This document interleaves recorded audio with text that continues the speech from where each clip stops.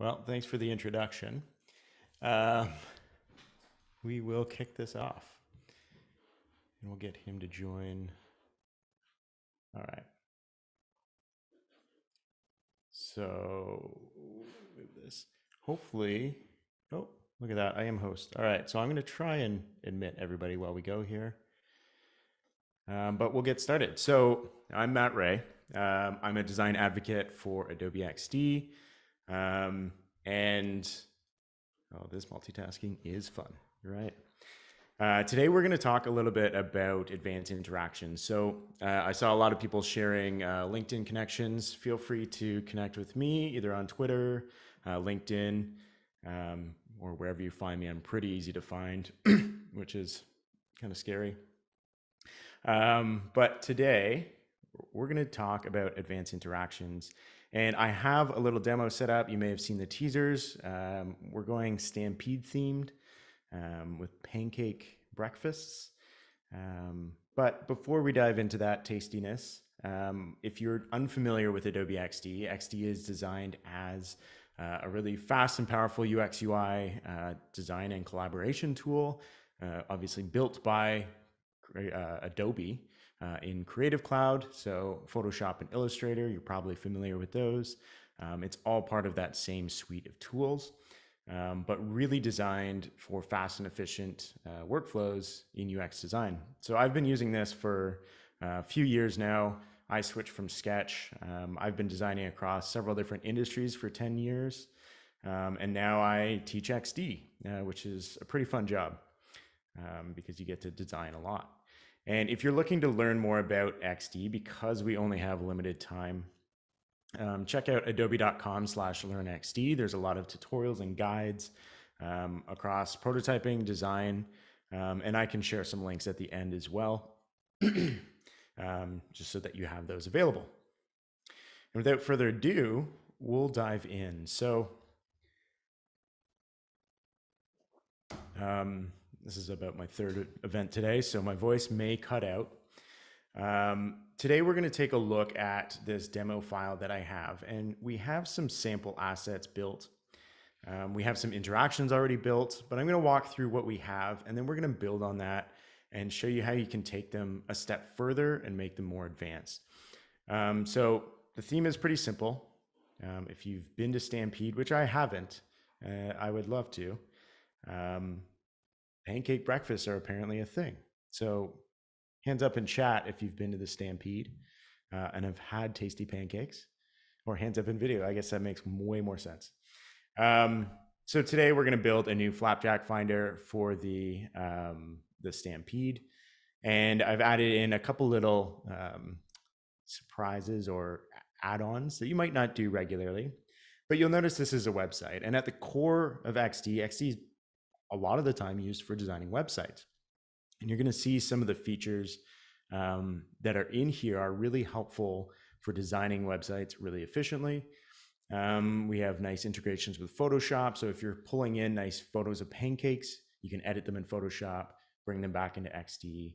Um, and then there's just some, some simple uh, features like repeat grid. So here, I'm actually going to rebuild this element to start just to show you um, what is possible. So I'm going to just completely delete this. And what we want to do on this page is essentially create a list, right? We're going to have a list, we're going to have a map, and um, I've even thrown in this little Stampede radio player that we're going to get to at the end. Um, up at the top, pretty simple. We have some shapes. Uh, UX design is a lot of rectangles and rounded rectangles. So we have those covered. Um, up at the top, I've simply masked an image in a rectangle that matches a hero, um, and then used some blending and gradients to kind of merge that into the hero. Up at the top, we have some components. We would have covered a lot of this in a, the past uh, session, so uh, look for the recording of that if you want to get more of the basics of Adobe XD. Um, so these are just one component and we've built in a simple hover state that turns it red so that when we play this uh, and you mouse over, you get that nice hover interaction. Super easy to do. You don't even have to go into prototyping mode to do that. Um, and now XD supports both hover and toggle states. um, in the design mode so you don't have to wire them up. It just does it for you automatically. Um, so we might pull in a toggle here in a bit. And then here, um, obviously when we start the page, um, our call to action is obviously finding pancakes. Um, so if if we meet people with this nice um, tasty image of pancakes, they want to see the cakes, right? So this little button here is wired within the page using something called anchor links. Um, and this is a pretty simple interaction, but this is great for single page apps uh, or websites where you want to navigate within the page. So when I click on this, all it's doing is scrolling to an anchor point and then bringing me into the cake finder or flapjack finder. Um, and then we can start interacting with it. So to set that up, all you have to do um, in prototype mode, typically you would take a link and drag it to the destination page. Um, with an anchor link, instead you drag it to a section of the website, any element, and then drop it in. And then you can set the Y offset to adjust exactly where you want it to scroll. And in this case, I'm using a fixed navigation. So I want to factor that height in when I place my Y offset to get it to scroll exactly where I want. And so to make a fixed navigation like this, where it stays in place while content moves underneath, oops, giving away secrets here, um, then you can set that as your top layer. Uh, I've grouped it all into one element and then set fixed position when scrolling. And this just creates a nice fixed um, navigation like you will probably see in the web. So without further ado, let's start building out our pancake list. And what I've done, um, no, I'm not going to tell you that yet. We're going to start with a simple avatar because we want people to see pancakes, of course, um, and rounded rectangle. Why not? So we can either set um, our rectangles here or do it right on canvas. And I'm just going to style this using the color picker. This is not what we're here for. So I'm just going to do it quick. And we're going to put images in here. So the style really doesn't matter. Then we can say this is going to be the um, breakfast name or location name. And then we can just position that. We can pull down another text box, and this can be our location. And what we're doing is we're just setting up a single tile. And part of the goal for of XD is really to give you the tools you need um, to move quickly and design things without having to worry about doing the repetitive work. Um, so I'm just setting up a single cell here. Um, this is going to be the date. And you can fiddle with the styling if you want. I'm not going to be too picky. But there we go. We have four different elements. I'm going to just take these and group them. Now, I could copy and paste these, of course, and then go through and override each single one. But I'm going to use, and first I'm going to move the Stampede radio out of our way. And then I'm going to use something called repeat grid. So when I turn this on, I can just drag this down and repeat it as many times as I want. I can also go horizontally. So if I'm trying to create a full table, I can do that and resize things uniformly across the design. Now I only want one column, so we're gonna leave it like that. And now you're thinking, great, you have 10 of these rows, but they're all the exact same. So next I'm gonna pull in some training assets or some text assets. And in the Pancake Finder folder here, I've got um, a few text files. So to start, I'm going to drag this pancakes.txt file in and just place it in the breakfast name. And just like that, it's going to autofill all the locations. So think if you exported a list of all the pancake breakfasts um, from, say, flapjackfinder.com, uh, which is exactly what I did, uh, you can get a list of pancake breakfasts. Now we can see here already, we know the styling's a little off. So I can bring down this sizing, maybe call this 18, um, and then fiddle with things. So maybe I'll just take this out. That's a good design practice, right? Just change the data to fit your design. Um, and then we can keep doing the same practice with our dates and addresses. So the address will go to the location column and date into date, just like that. So now we've built out a list. That's great. Now we can take this um, really tasty folder of images and just drop them in and voila. Now our list of pancakes is complete. Uh, and I don't like that border, so I'm just gonna turn it off.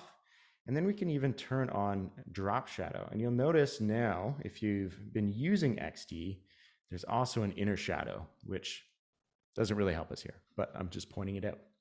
So now we have our list. And when we play this, um, we've got a map and the lists. Perfect. But this list is really long and we don't want to scroll down and it's also taken over in the hierarchy. So next we want to make this list itself scrollable so that this whole section is self-contained. And to do that, I'm just going to take this same repeat grid and come over here to the uh, transform section and apply a vertical scroll. And now I can get these little handles. I can position them exactly where I want them to be. And now when we play this, it all fits in our space. Sorry, I should use the show me the cakes button. And we can just scroll through this just like that. Pretty nice. So next, we want to build out this map um, because the end goal of this segment is that we can click on one of these or we can click on a marker on the map and this whole section is going to respond to that action.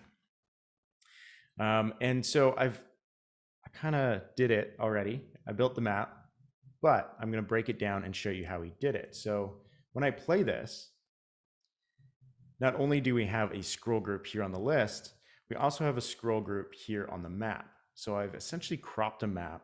Um, and this is really handy because um, we don't want to just show a static image. We want people to interact with it, right? We're prototyping. We're not just mocking up a static layout. So to do this, if I take this map and just copy it over here, I'm going to break this down. So here, in this map element, we have a group.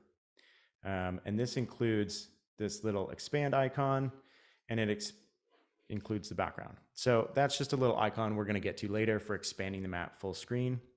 And then I have a mask group. So in here, I have kind of this inner border of content.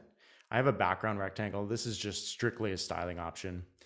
Um, and then I have this scroll group inside the map. And you'll notice just next to vertical scroll group, I'm using a vertical and horizontal scroll group. So this allows me to basically create a panable area, much like the actual XD canvas itself. So this is a feature Adobe uses when they're prototyping their own canvas tools. And um, when I double click into this, you're gonna see a major map. So all this is doing is it's basically cropping a really big section and giving me a viewport. And then I can scroll around within that viewport. And so to create this map, I basically just used um, something like Studio Mapbox or Mapbox Studio. Yay, there's a new version. And you can style your map however you want. And then I usually just blow it up on a really big screen and take a screenshot. Um, and if it's high res enough, it'll look great. Um, but there's different ways to work around that. There's also some plugins that will generate maps, but typically they'll generate them in a specific shape. So if you're doing that, you want to make sure it's a really big shape just so that you can get a nice high res map. And then from there, all I did was I just started arbitrarily placing these map dots. If you want accuracy, you can place them at the actual locations of addresses. Um, but I just kind of clustered them around downtown um, and near parks. So this is not an accurate map. Again, we're prototyping. Uh, we're trying to get it as real as possible, but the data might be flawed. So don't go looking for pancakes using this design. So then uh, if I just undo this scroll area, you're going to see that I have a giant group. And this contains the map element and all of my pin locations. Uh, if I was doing this properly, I might name each of these pin locations to match to uh, an element in the list. I haven't, so that's how it is. Um, and then we can just take this mask group and actually we're taking this group itself and applying the scroll group to it. And this is the one with the map. That's just a screenshot. this map element is really just what I'm masking the map with.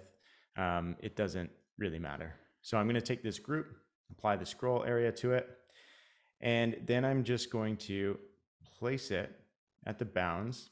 And you can see, probably not, but as I get close, it's actually snapping to the inner shape um, of that mask rectangle. So XD is really good at snapping things to uh, relevant shapes so that I don't have to worry about positioning. And just like that, it's all set. And because it's in that mask area, I'm getting the curved borders from the mask. Um, otherwise, the scroll area is simply squared corners. So that's why I'm using the mask area just to create the shape that I want it to have. So just like that, boom, we've got our scroll, scrolling map. Now, I want to make this so that these parts are interactive together. And I pointed out earlier components. So up top here, we have this menu item component. If I was to copy and paste this, um, it's also in a stack. So it's going to automatically expand. Um, it just bounced over and everything here is evenly spaced. Um, so I can just keep copying and pasting, deleting, and it's going to respond. So with this, using states, we can create different variations of a component, a layout, a button, uh, a text object. There's so many different ways. Um, I've seen teams build a component with 80 different states to capture all sorts of things. I don't recommend that. Um, that's a lot to maintain, but it's doable. And so what we're going to do is we're actually going to take this whole content section and convert it into a component. And then we can build states that represent each of these different selected um, elements. Um, so I'm just going to take this all as a group, and this is part of why we set this scroll group to the bottom of the map. And I'll set this as a group. Um, you can name the group. If you name the group, um, XD is going to assign that as the component name. If you don't name the group, you're going to get names like component one, component two. Um, so if you like to be organized, name things. And this is going to be my map section, or yeah, we'll go with map section. Um, I think naming layers might be one of the most intimidating things of design.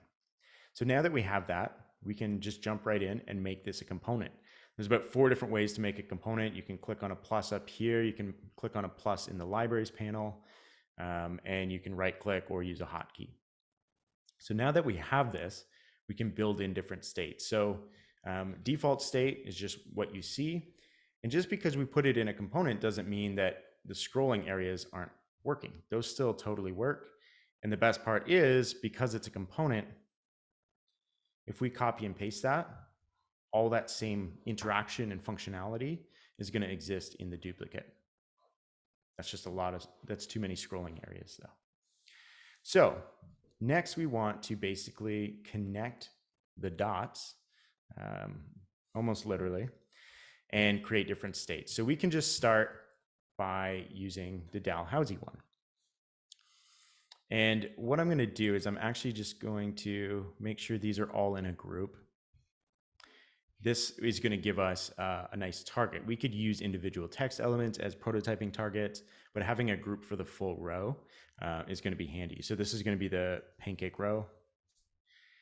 And each of our icons are already grouped and they're the poorly named pin locations. So we're going to use these as our triggers when prototyping. And our first, let's just start with Dalhousie. And um, you guys probably know where this address is, but I'm going to pick arbitrary ones and see how far off I am. Um, so we're going to start with this one, um, just because. Um, and what we want to do is when I click on it here in the list, I want the map to move and center that pin, much like it would in real life. So to do that, I'm going to start by making a state. I'm going to call this Dalhousie. It's nice to try and align your state names to the thing that you're pointing to. So now that I've done that, basically I created a new state off the default state and it just copied all the parameters. If I was to make changes here to the Dalhousie state and then hit plus, it's going to copy that Dalhousie state. So when you're trying to always start from that main original state, make sure you select default state and then hit plus. Otherwise, you're going to copy all the parameters of whatever state was selected. It's a trick that doesn't um, stand out.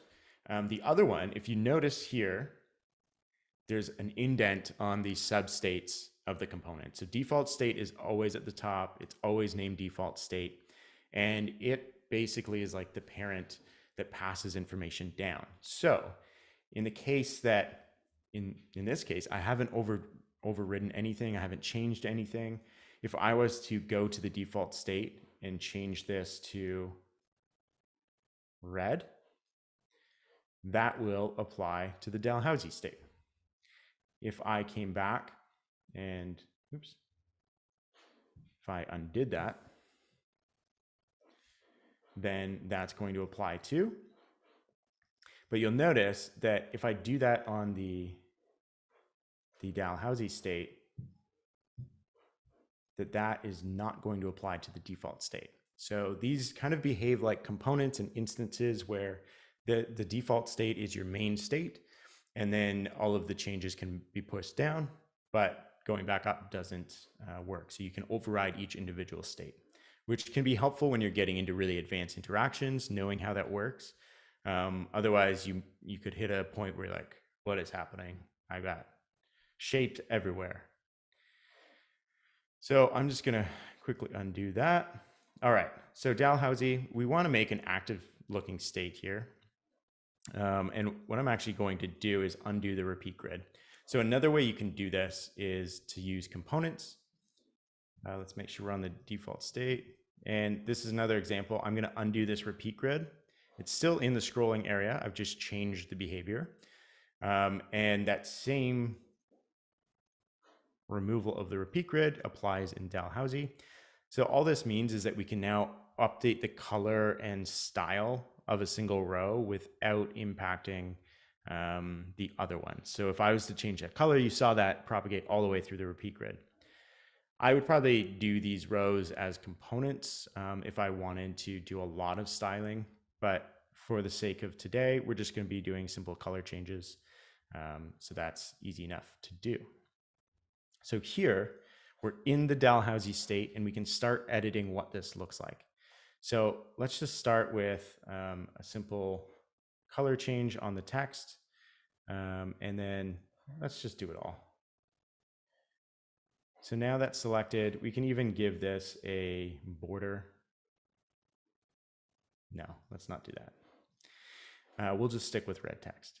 And then double clicking into our scroll group, I'm right in the scroll group selecting the image. So I'm not changing position of scroll, the scroll area or the mask.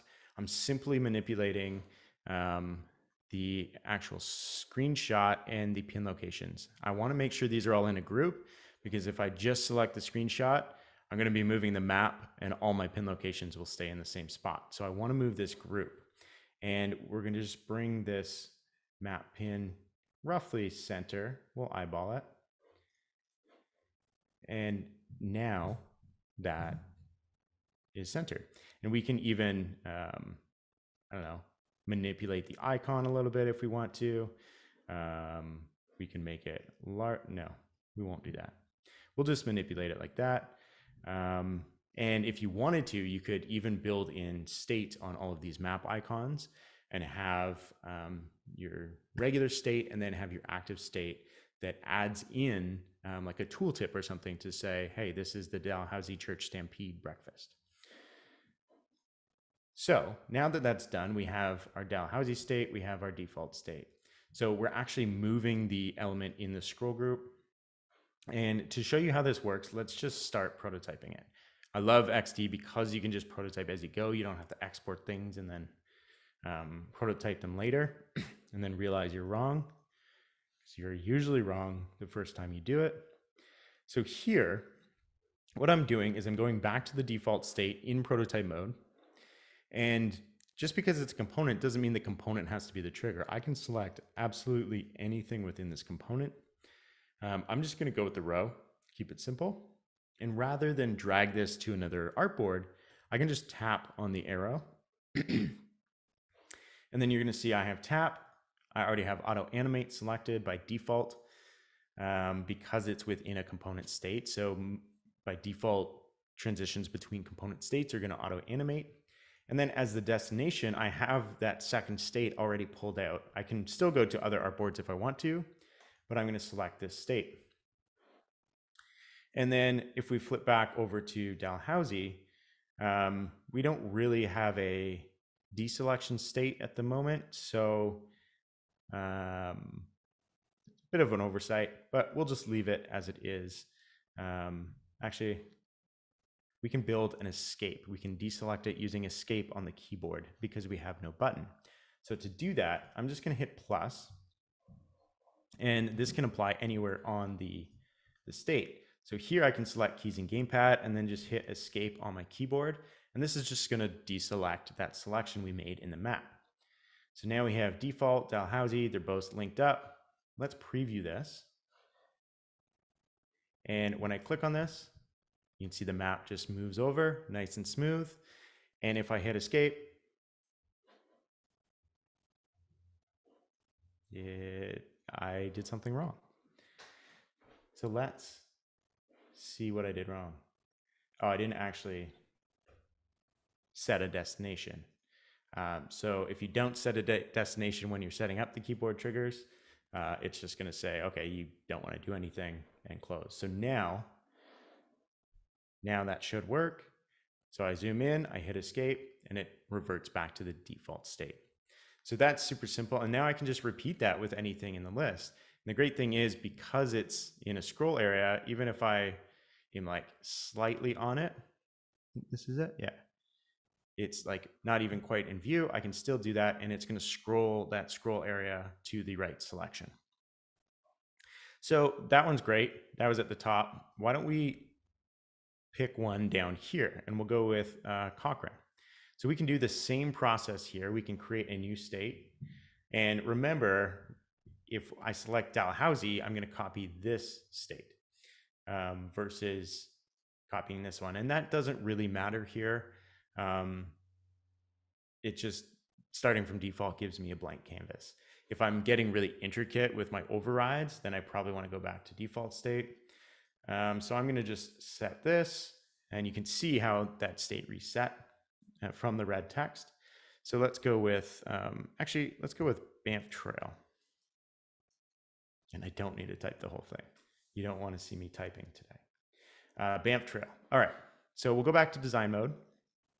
And here, um, this is another example of where we can use these scroll areas and the position of them um, to actually change when we uh, move between states. So in this case, I want this to be up top here, um, right where Dalhousie is. So when I select it, it scrolls up and the map scrolls into view. Um, so again, uh, here I did not make a group. So I'm just gonna quickly go back to the default state open these up and you can see in my scroll group, I don't want to move the scroll group, but I want to make it easy to move all my pancake rows. So I'm just going to convert these um, into a pancake list. And now we have the pancake list with pancake rows. So I can leave the scroll group in place and actually move the pancake group around. And this should apply to all of my other states because I did it on the default. Um, so if I did that on the Banff, then the other ones wouldn't have the group, which isn't necessarily bad. Um, but here we're going to take the pancake list and I'm going to just move this up uh, as close to the top as we can. Um, depending on how you're building this, you might want to prototype it so that there are no gaps at the bottom of a list um, and that it just kind of stays in view. So this is where thinking about the development implementation could be helpful. I could do this, but then if 4th Street is selected, then it's going to be way up here. Um, so that's probably not how it's going to behave. So we'll just set it so it's about there. And then we can set these texts. And I'm just using the I key um, to select the eyedropper. If you're working with the design system, you could just apply these colors from your asset library, um, or you can use the fill selection down here. Um, so just like that. And now let's pick another arbitrary location. Um, let's make this one aggressive. We'll, uh, we'll go over here just to show you kind of the extent of our scrolling capabilities. And you can even take it a step further, right? Um, just because you're at this zoom level on your map doesn't mean that you can't zoom in and out when you make a selection. So in this case, let's just take, I like using Alt, uh, Option Alt and Shift to get really nice um, symmetrical resizes. So you can see all the map icons, thankfully, are resizing. So I can make this as big as I want and then drag it into place um, and really zoom that map in. So now we're both panning and zooming. Um, and just like that, we're all set. So if we pop to prototype mode again, I want to um, make that same interaction. I could rebuild it, um, but I think I can also come here, copy this. So I'm just going to copy this. And then if I come to Banff Trail, never mind, I can't paste it. If you're doing this in not states, um, you can copy a single element in prototype mode and paste the interactions of it. Um, so for instance, if I wanted to copy this cakes button, and then maybe this was also a pancakes button, I could paste the interaction and it's going to take me to the same thing. So if I'm doing repeat interactions, I can just copy and paste them. I don't have to redo them. Um, but between states, it doesn't quite work. So we're just going to do the same thing from Banff Trail. I'm going to set up keys and gamepad, hit escape. What's really cool is I can even pair it to a controller for like a PlayStation or Xbox. So if you really want to gamify pancakes, you can do that. Not that you want to, but you can. And then again, we'll set that destination back to the default state. Um, and then come back to our default state and set up our link here. Now this, in this case, it should work that if I copy this and paste it. Oh, doesn't work. That's silly. Um, anyway, we're just going to build the same state interaction. And this time we're going to go to Banff Trail and use a tap. Um, again, I'm not changing any of the easing. You can play with that um, to create more advanced, um, intricate motion, um, but we're going to leave that off for now. So now we're in default state. We can show the cakes. We've got our Dalhousie one. We can escape that. And then I can scroll, but if it's already on my screen, I can click here and that scroll area is going to scroll up. The map's going to zoom in and scroll. And now I have this full cohesive um, experience that like just gives me this interaction that is similar to the web. And I'm doing it all in a single artboard in a reusable component. Um, and using my mouse and keyboard, which is really awesome. So I'm not going to build out all of these because you're going to fall asleep. Um, and we're going to move to creating a little bit of a search interaction now. Um, so obviously we have this element. Um, people might want to search for their favorite pancake joint. So what we can do is I'm going to come back to that default state because again, any changes we make in here are going to propagate. We'll come back to design mode.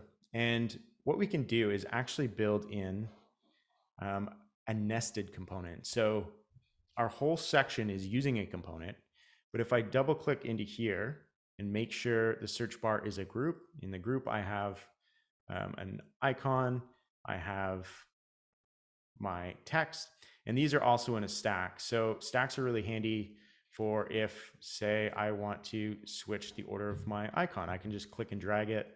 Um, super handy.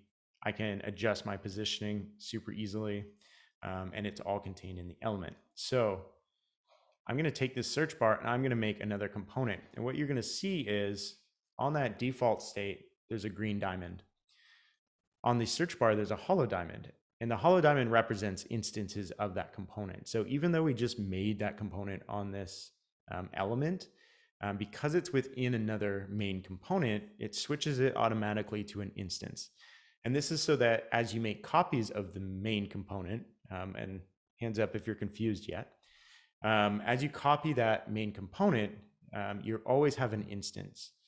And so to edit this globally, I can just right click and hit edit main component, and that's gonna put it back on the canvas for me. And now this is the main search bar component where I can add states and edit things. Um, and that's just so that as I create more pages like this, um, I don't have to track down which main component my main component was in.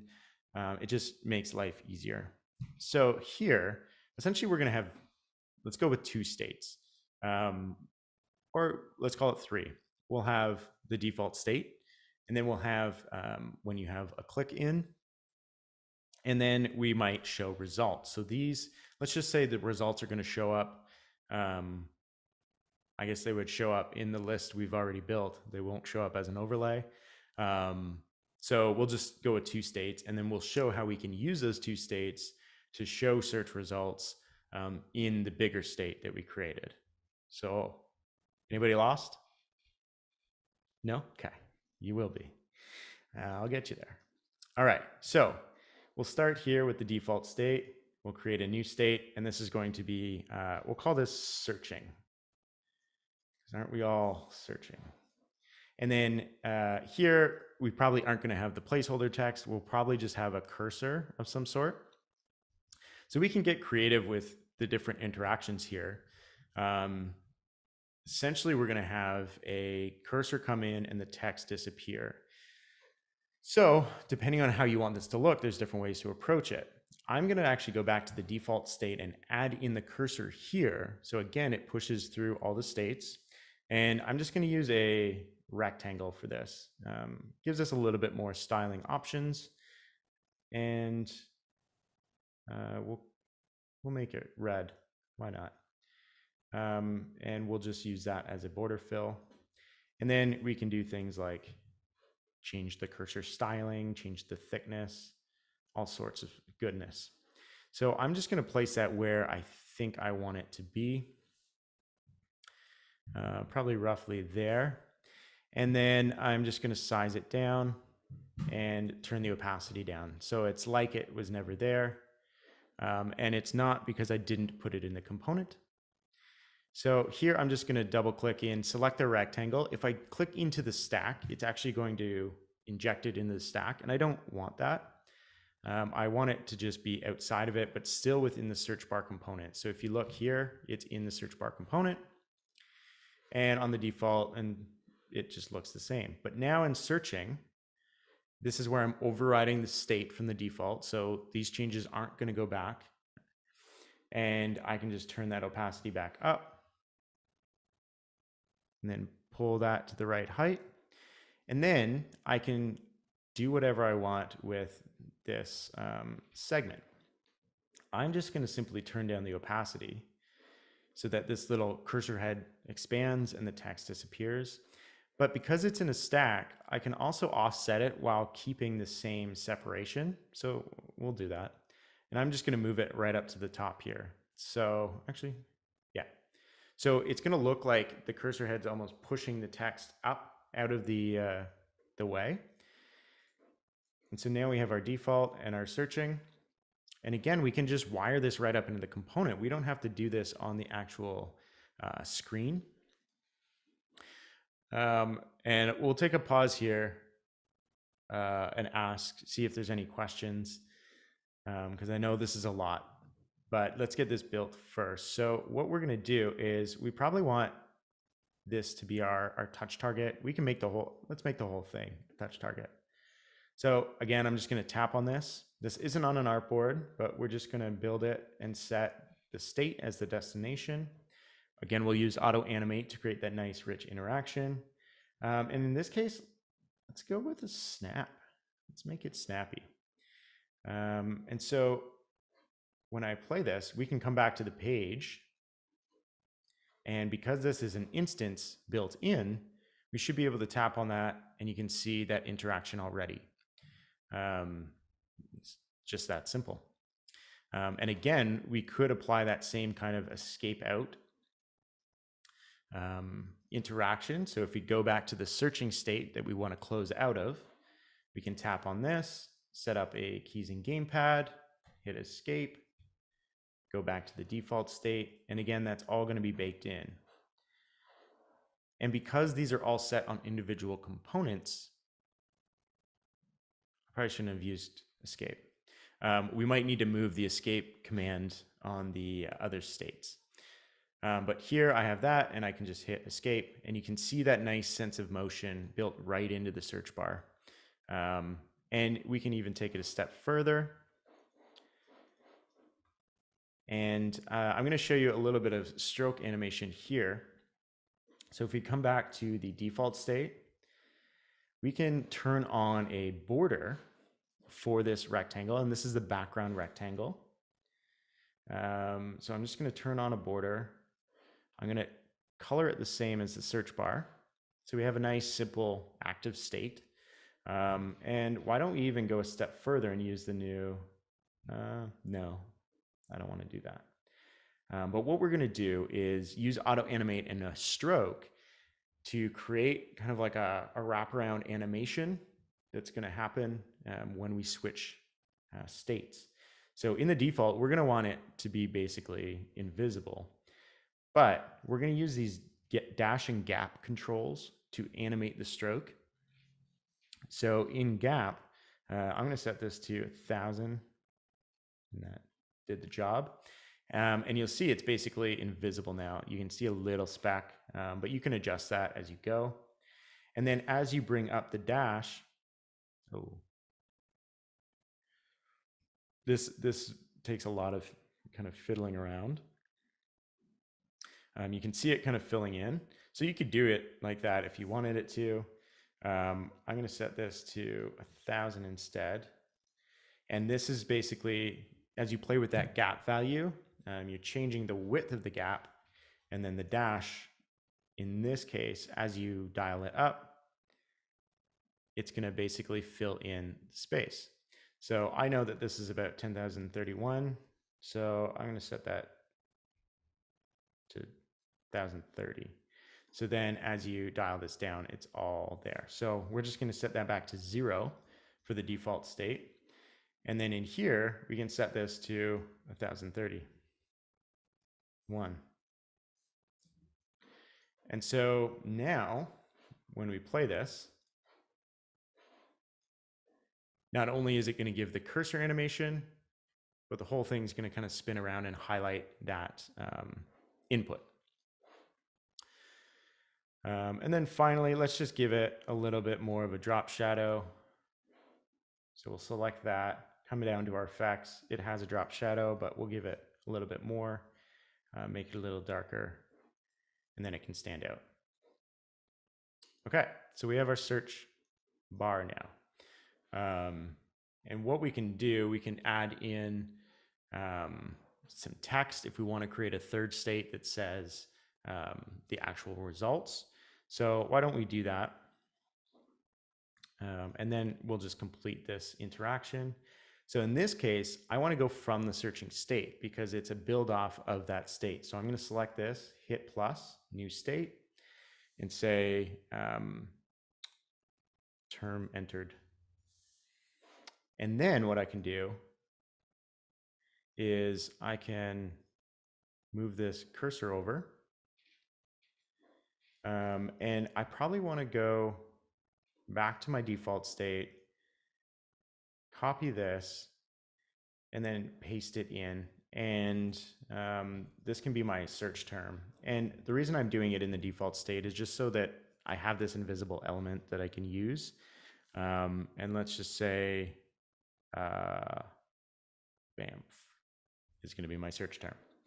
So now I can basically bring this back, align it up here, and then uh, drop the opacity and forget about it in the default state.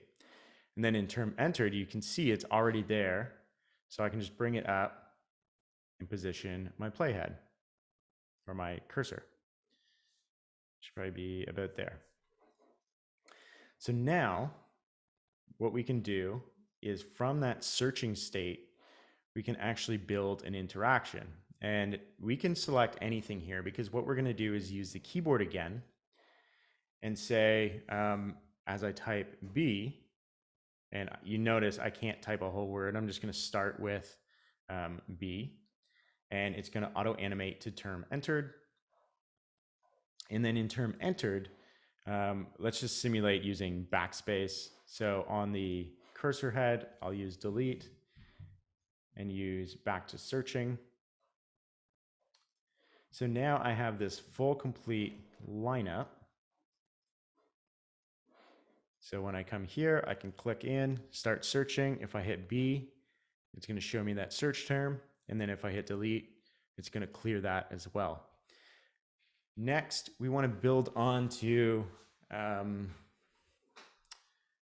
this behavior, and I did it a little bit different. Um, there's ways to use this in the full component. I'm actually just going to add an overlay um, over our existing list to show a slightly different view um, of search results. Um, and you could build this. What you would do is rather than putting the interactions on the actual search field itself, um, you can build it onto this major section component. But before we go there, I know there's a lot of chatter in the chat. Um, Lewis, is there any uh, questions that are standing out that have yet to be answered? Well, the main question so far is uh, when the video is going to be up and how you are going to get the, the files out to everybody. So I guess we all are looking forward to, to rewatch this, uh, this presentation. And uh, just so everybody knows, uh, I'm going to put it on LinkedIn, I'm going to put it on Meetup, and we also have a, a YouTube channel. So it's more like an archive of every, every conversation that we've had. And uh, if uh, you don't want to, let's say, lose track of, of that, uh, Meetup has a way to send uh, messages to everybody that was uh, RSVPing from there. So if you haven't, maybe uh, you can go there and um, just RSVP so I can get a way to send any message to you. LinkedIn and, and, Meetup do not offer or share a, a direct bulk way to send emails. So maybe that's it. That, that's the simplest way and easiest way for you to get uh, that information in your mailbox. But uh, let's open the channel maybe to, to have more questions related to the prototype and anything that Matt is sharing. Yeah, I see a couple. And if you follow me um, on Twitter or LinkedIn, I can try and post that those assets as well. Uh, I know this is a lot. Um, advanced interactions can you can do so much, but there's only so much time. Um, so we'll we'll leave that section there. I have one more uh, cool little thing to show you, um, but I'll address some of these questions um, first. So, see, there's a question from Naman on uh, if you do interactions on instances, the main component automatically adapts that interaction. So um, I think you're thinking of it backwards. So in this case, if I had set up and there, there's this is a great question because there's two different ways to apply um, interactions. So here, remember this is our main component for the search um, search bar. Inside this is an instance, and I set all of our interactions here on the main component. So when you want to set an interaction globally, um, so for instance, if I'm setting up this show me the cakes button and it's always going to take me to the same destination when I do that action. That's, that's a global interaction for that component. It is a button. So in reality, a button's probably not going to receive a global interaction. The global interaction it might have is a hover state because you're changing those, the, the properties. You're not going to a specific destination. So when you're setting something global that's always going to go to the same destination or have the same behavior, set it on your main component. That's going to save you time.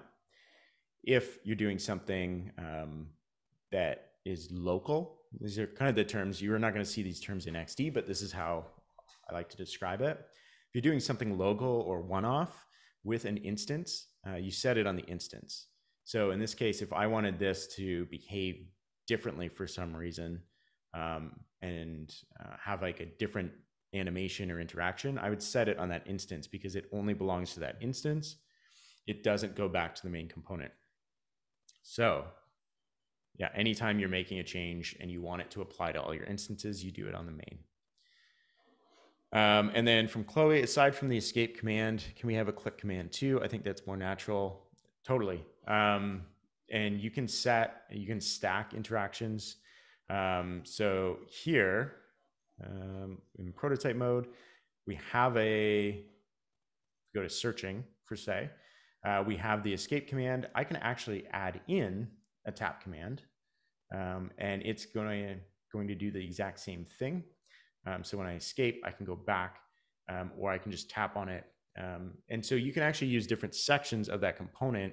Um, so if I tap here, maybe that's going to fill in the content. If I tap over here or add an X to the search bar, which we probably should have, then I can use that to go back. Uh, I just used escape mostly because I forgot to put in any visual cue uh, that you can go back or undo, uh, which is my first mistake.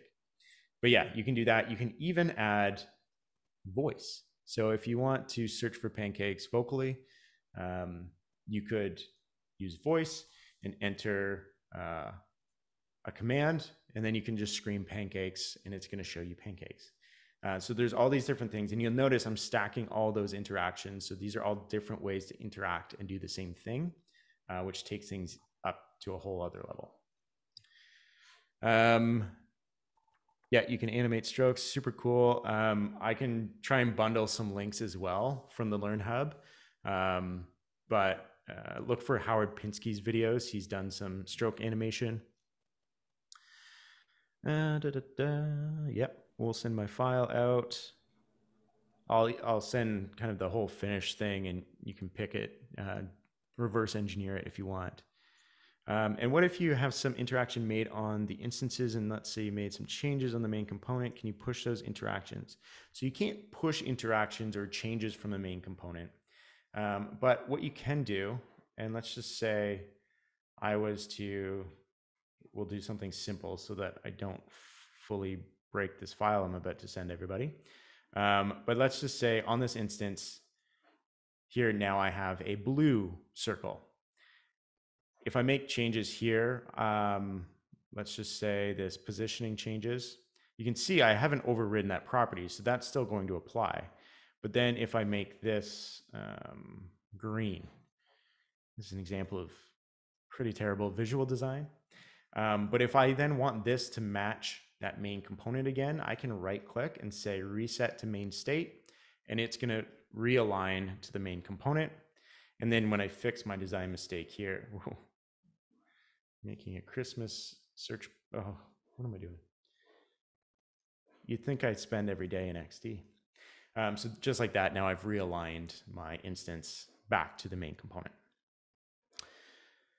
Okay, so I'll show you one more thing because we've covered a lot. We want to end with another cool interaction. You now know that you can do voice interactions, um, but we can also use other forms of playback in our designs. And if you remember to the beginning, we have our Stampede radio. So I'm just going to pull this up um, and just actually make sure both of my elements uh, that sit on top are on the top layer. And I'm just doing that. I'll select the element and then you can use um, shift command square bracket to basically change the position in the layer stack. And that's just gonna move it right to the top or right to the bottom. If you don't hold shift, it'll go layer by layer. Um, so let's just collapse some of these down. So now I have my nav header and Stampede player. Stampede player, I'm also going to fix that position when scrolling. So now we have our pancake breakfast. It scrolls into view. We have a scrolling list. We have a scrolling map. And when I click on something, it's going to scroll into view. We, have our search bar. Of course, the voice goes out at the end. And then when I hit B, I search. Uh, we're not going to get to the, the full drop down now. But then I'm still scrolling through this page. What if I want to listen to some Stampede radio? Um, so down here, I can just click on this play. Oh, one second. Let me make sure Zoom is in the right settings. Mm -mm -mm. Let's give it some sound. I can actually prototype with sound and audio files right in XD.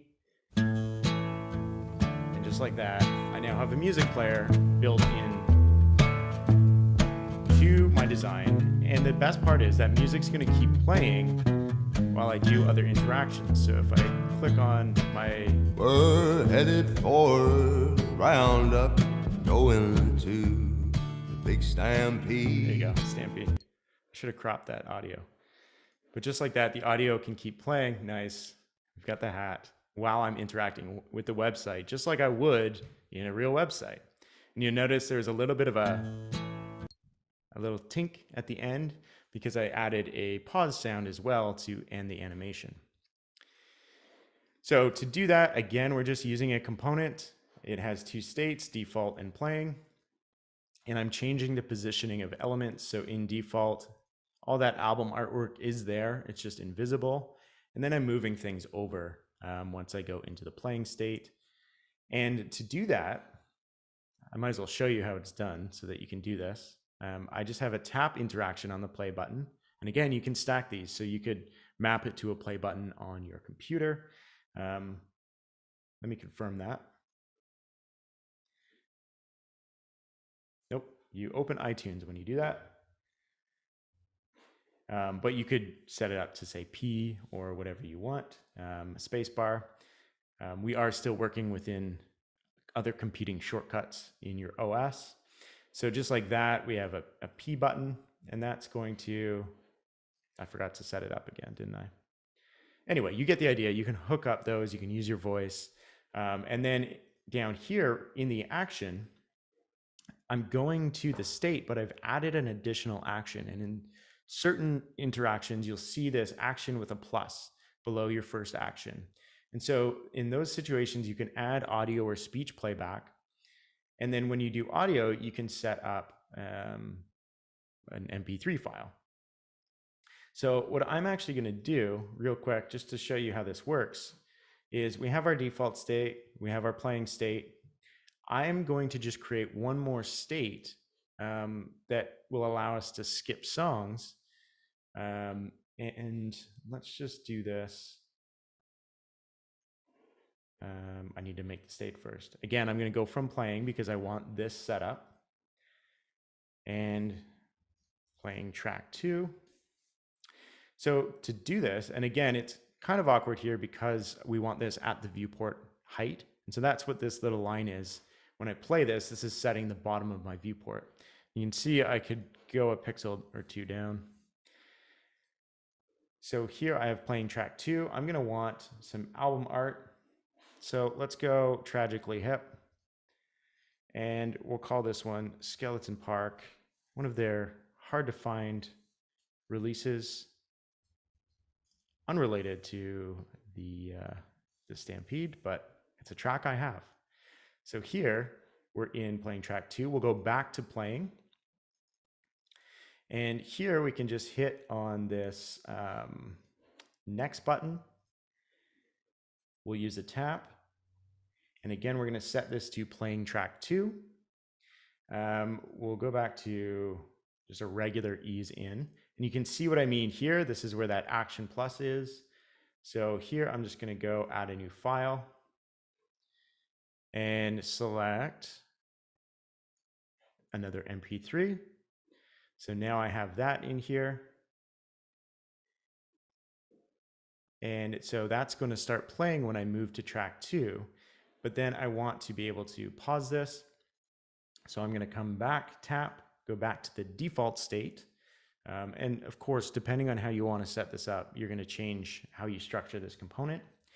Now, because it's in a component, the audio will keep playing even as you move between states. So to fake the pause, I'm actually adding another audio playback with this tick sound um, to stop playing the audio. So if I did this correctly, if we go back to our default state, we should be able to play get the first track, and then skip tracks, and the next sound will keep playing. And then when I pause it, it stops playing. Now we could add the, the previous button interaction. We could add in some scrubbing if we wanted to. Um, there's a lot we can do, but the fact that we have audio embedded just makes it so much cooler. So I'll wrap up there and see if we have any questions because uh, we're at, at about 10 after. Um, yeah, so fire away. Um, I'll take a look here at chat, but if you want to unmute your mic, maybe I don't know how you want to do that, Lewis. Um, but if you want to un- unmute your mic and ask a question too, we can do that. Okay. Uh, yeah, so as long as uh, we all take uh, turns to talk, I, I think mm-hmm. it would be much more interactive to to bring, uh, yeah, people people on the call. So we have Shanice. Please let me know if this is the way the right way to pronounce your name. When should you use toggle instead of new state? Great question. So, um, let's see here. We can do it on this little um, magnifying glass. So here, I'm just gonna, we're gonna make a quick little interaction that when I click on that, it expands into a search bar. So when it happens, I want that ticket button to move over. So I'm just gonna group this, turn on stacks, and you're gonna see that in action. So, and actually we're gonna make this all a component just so that it moves. So default, we're gonna set up toggle state. So toggle state is great. Um, hover's great for mousing over. So when you just move over and hover on a button, it'll create that. Toggle state is the same thing, just click. So moving between A and B. And it'll always work from the default state of something to the toggle state of something. And the lightning bolt means that you don't need prototyping, basically. So with the toggle state, um, I'll just basically resize this. We're not going to do anything fancy here. Uh, I can move this over. I could add text, but we're not going to for the sake of time. So now we have default and toggle. And what you're going to notice is I'm not going to prototyping mode. I'm just going to play this interaction and click on it. So just like that, I've created a toggle state without linking things together. So if you have toggle switches, um, switches, it's great for switches, um, but like drop down menus, open and close states. Um, technically, it could work here if I had a toggle state on these to open them. Um, there's a lot of different options, but it's just one of two now. Um, and I believe there's more to come on these prepackaged um, state interactions uh, just to make things so much faster for you. Um, so I just have another quick question about toggle. Sure. So you mentioned something like drop down menu. So let's say like explore, I want to toggle that to show menu. Can I have components in that menu that is clickable that are different instances of like a different component? Or would that be like not as convenient as a new state? Um, okay, rephrase that one more time to make sure I, I got it right. So, so you like, can build a toggle state on this component but then you're asking about other toggle states within it? No, it's more like um, toggling it to open the menu mm-hmm. and like drop down menu that's open are actually clickable links to like a different page. Yeah. Or yeah, something. Yeah. So we'll take this. Um, I'll just build a new state. And in this case, we'll go, oh, totally did what? Never mind. Ignore what I just did. I'm going to create a toggle state. And then in here, um, and this might be a little messy. How do I have this set up? Um, in here, I'll just draw a, ah, this is a stack, isn't it? One sec, let me,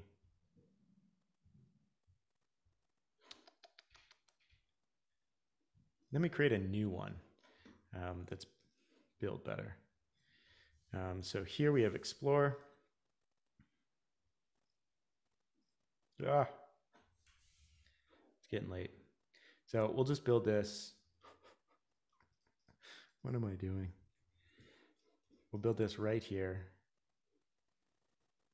And um, we'll make it big. And so I'm just going to make this a component. We'll skip the hover state. We'll just make a toggle state. And then in here, I can maybe add in just a really crude drop down section, uh, hide the border, give it a shadow. So just like that, this is our second state.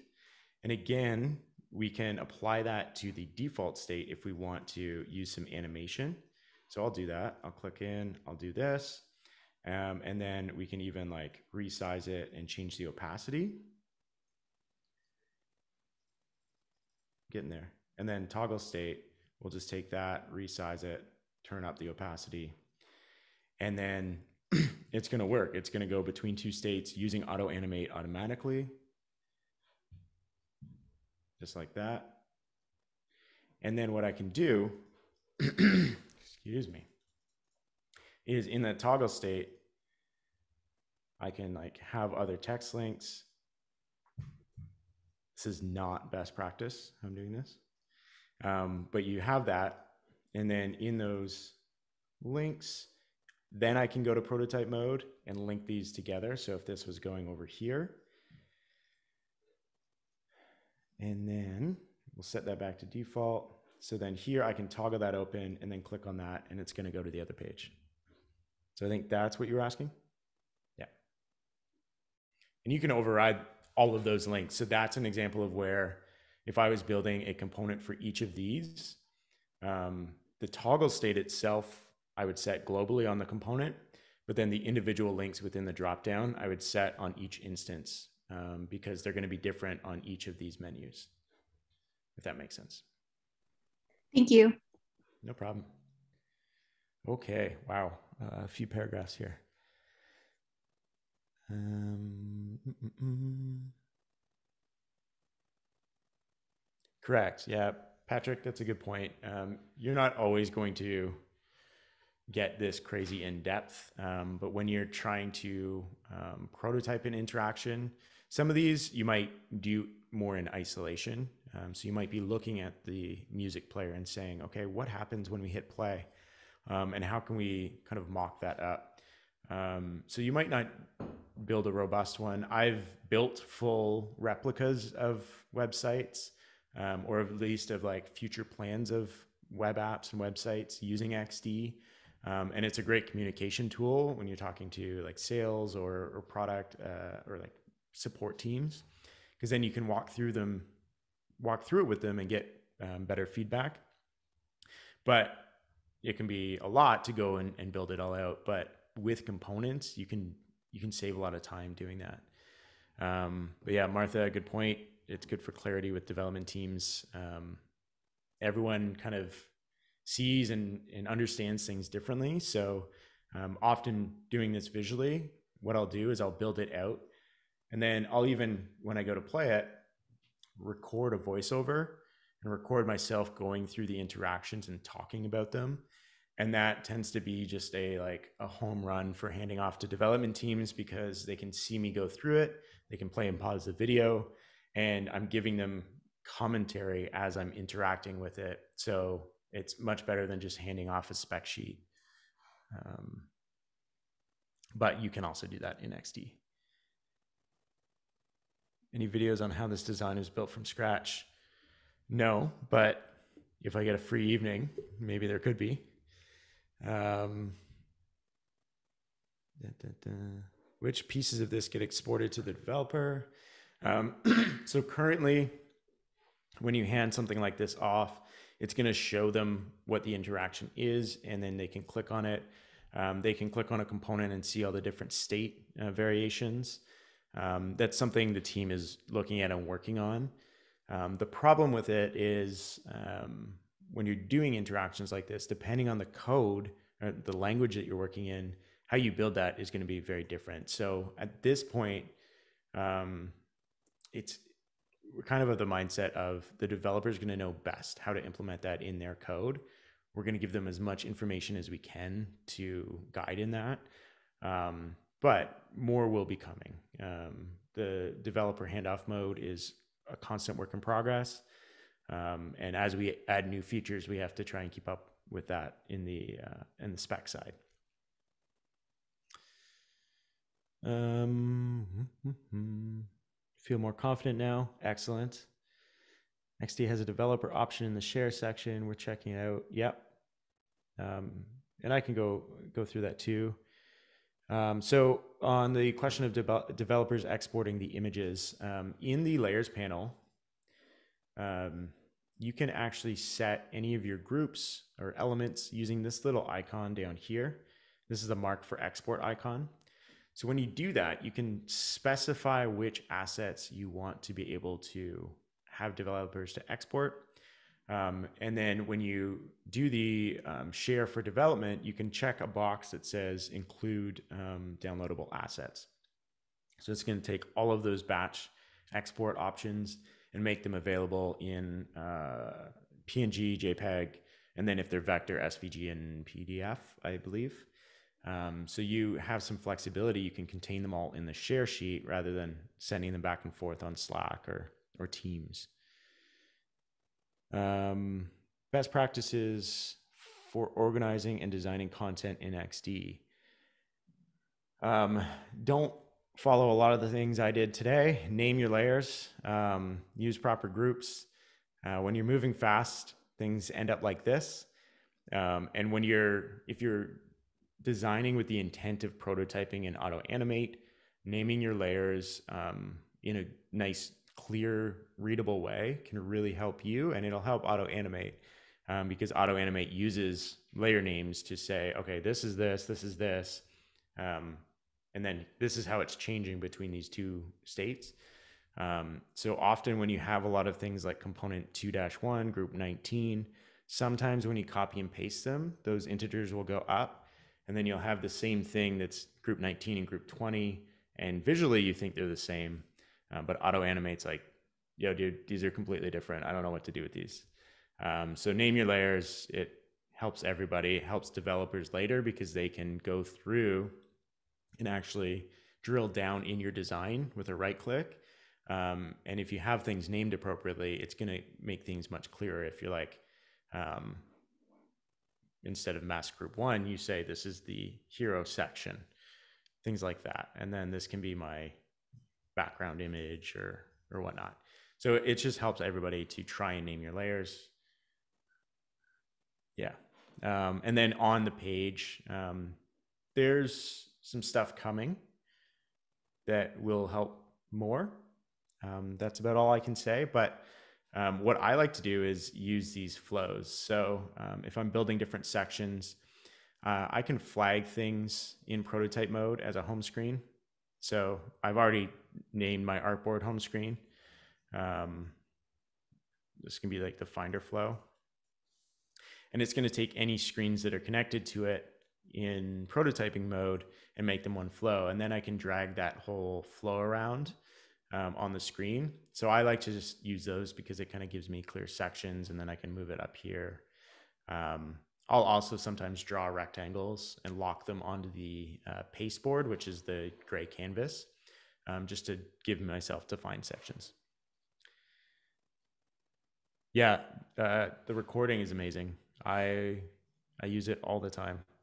Uh, it doesn't work on Windows. There's other ways to use it, but there's uh, OS level limitations. Uh, but on Mac, you can record with your microphone. All right, I think I got. Oh, nope. Spoke too soon. So some people use After Effects to do an interaction video on their portfolio.